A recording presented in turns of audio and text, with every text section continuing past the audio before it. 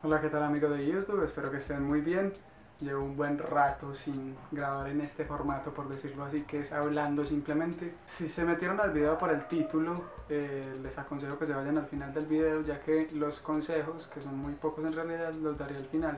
Antes, daré una pequeña explicación de para qué sirve el ICFES realmente y eh, les contaré cómo fue mi experiencia cuando lo presenté. La razón por la que estoy haciendo el video es porque un profesor de la universidad me mandó unos textos que tengo que leer, entonces tengo tiempo. Así de simple, en este momento tengo tiempo. Bueno, empecemos a hablar del tema del video. El ICFES realmente es una medición que se hace a los estudiantes de bachillerato de todo el país.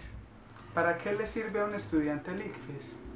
Dependiendo de su estrato socioeconómico y de su puntaje del CISBEN, le puede servir para acceder a un programa que se llama Serpilo Paga. Actualmente, en el, momento que estoy, en el momento en que estoy haciendo este video, no sé si eso pues vaya a cambiar, pero realmente las personas que pueden acceder digamos a esa ayuda es muy mínima y para lo que realmente sirve el ICFES es para posicionar a los colegios en una escala de digamos del mejor colegio al peor colegio dependiendo de qué puntaje sacan sus estudiantes en el ICFES es decir realmente el ICFES sirve para tu colegio, no para ti. Porque es muy posible que a ti como a mí, aunque tengas un puntaje que te dé para acceder al Serpilo Paga, no te lo den.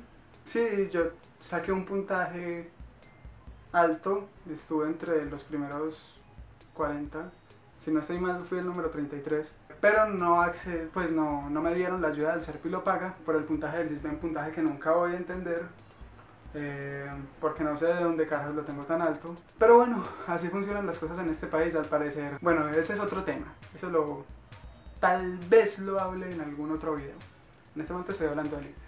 Las personas que pueden acceder al programa Serpilo Paga es una cantidad muy pequeña en comparación a las personas que presentan el ICFES por lo que realmente el ICFES sirve para posicionar al colegio en el que estudias en un ranking. Ahora, para entrar a una universidad, hay universidades que te piden el puntaje del ICFES. y esto te puede dar unos puntos. También te sirve para acceder a algunas otras ayudas, como por ejemplo el fondo EPM, donde a ti te dan, dependiendo del puntaje que sacaste en el ICFES, una cantidad de puntos para acceder a la ayuda. Esa es la utilidad real del ICFES y aún así a muchas personas esas ayudas por otras variables no se las van a dar. O sea, porque no, en, por ejemplo el fondo de PM no es solo el ICFES, sino que también es el estrato socioeconómico, la carrera que estudias, dónde la estudias y todo eso se, digamos, se promedia a un puntaje que dice si tienes esa ayuda o no. No voy a hablar de todos los colegios, pero en muchos colegios preparan a los estudiantes es para que los estudiantes los posicionen en el ICFES, no los preparan para que se presenten a una universidad pública, por ejemplo, donde el nivel de exigencia eh, va a ser alto, no los preparan para pasar al el examen de una universidad pública, sino que simplemente los preparan para que los posicionen, porque desafortunadamente esa es la realidad de la educación en este país. Bueno, ahora les voy a contar cómo fue mi experiencia cuando presenté el IFES, como les digo, a mí me fue bien en el IFES, no, pues no, en la vida solo me ha servido una vez para obtener una ayuda, pero esa ayuda de todas formas es un préstamo. Bueno, el día que yo presenté el ICFES, voy a empezar a contar desde el día antes, mejor dicho, porque cuenta lo que hice el día antes. El día antes, eh, ah, acá puedo empezar dando también los consejos. El primero, no se vaya a sobrecargar. Es decir, no vaya a estudiar en una semana o dos lo que ya no estudió en 11 años o lo que no estudió en los primeros 6 meses del año si se sobrecarga la semana del ICFES, lo único que va a hacer es llegar tostado al ICFES. Así que no se sobrecargue. Lo que hice el día antes fue que me fui a jugar fútbol con mis amigos. Las personas que siguen el canal saben que a mí me gusta mucho el fútbol. Porque yo tenía la idea de que si me iba a jugar fútbol iba a estar cansado por la noche, iba a dormirme rápido, iba a dormir bien y a levantarme temprano a hacer el ICFES. Entonces yo fui, jugamos fútbol dos horas y media aproximadamente.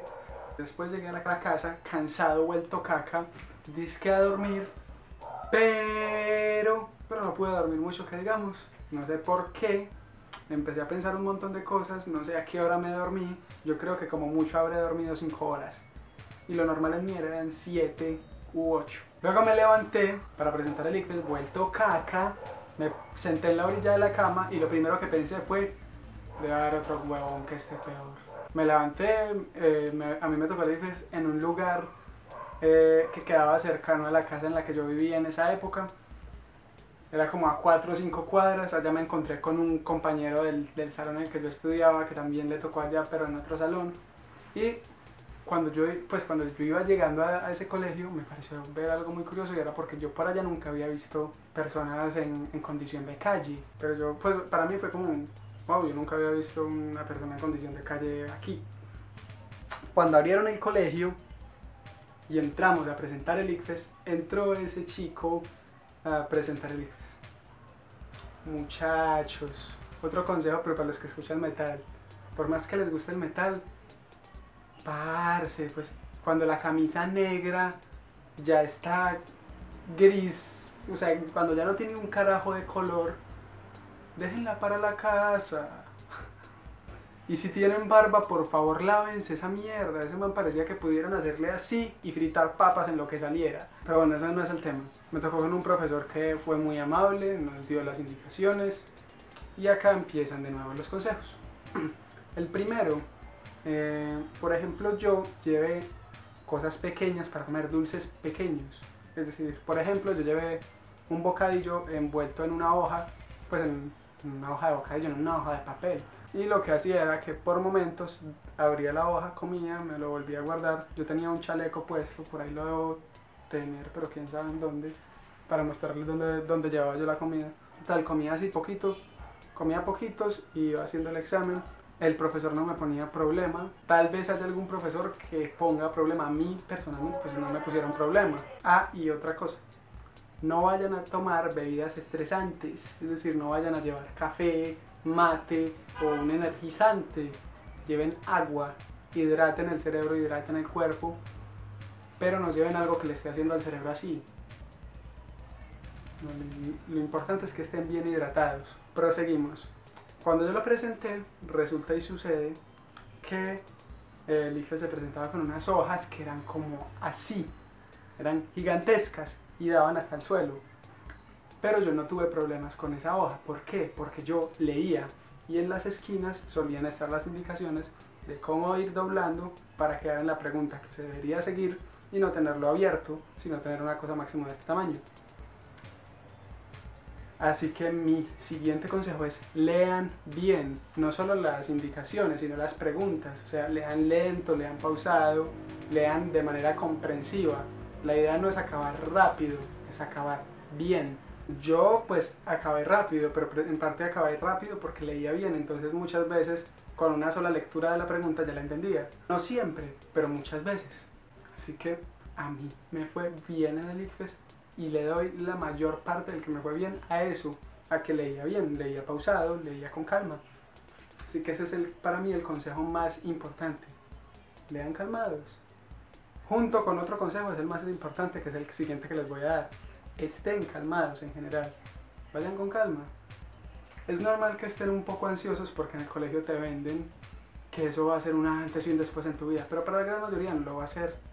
Porque la gran mayoría no, o no va a quedar en un puntaje muy alto, o eh, aunque quede en ese puntaje muy alto, por cosas como el puntaje del CISBEN no les van a dar esa ayuda que tanto promete. Para la gran mayoría el ICFES no les va a servir de nada, así que tranquilos. Preocúpense más por estudiar para el examen de admisión de una universidad pública, por ejemplo. Eso sí es útil, así que estén tranquilos, el ICFES no va a demarcar su vida. Y las instituciones que suelen pedir el ICFES suelen ser instituciones privadas, así que pues si tú tienes pensado entrar a una privada, ahí sí ponte pilas en el ICFES. Pero la gran mayoría, pues, queremos entrar a una pública, así que eh, preocúpate más por estudiar para el examen de admisión de una universidad pública que para el ICFES. El ICFES le sirve a tu colegio, más que a ti, a tu colegio. Bueno, yo creo que eso es todo. Gracias por ver el video hasta aquí. Con mi banda hace poco saqué un videoclip básico, o sea, hasta le con decirles que lo edité yo.